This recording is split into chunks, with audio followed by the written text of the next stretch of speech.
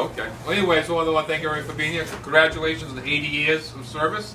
As being a customer from my college days with your father Ringo, and my baked beans and uh, scrambled eggs and hash browns. I have to go all at night. End up right here you know, at the at the bar. Was it Jimmy who was saying that was the, the cook? Yeah, James And, uh, Mayfield, yeah, and, uh, but anyways, on behalf of Grateful City, congratulations on your 80th birthday. Here's the on behalf from the people of Worcester City Council, the key to the city.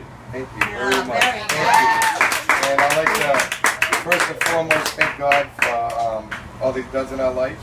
My dad for, um, you know, being able to work here many years ago, obtaining the diner in 69, and uh, thank all the public that is, the public mostly is what kept us here all these years and still keeping us strong and striving and looking for another 80 years. The great grandchildren, the third generation, will be uh, receiving maybe uh, the next 80 years.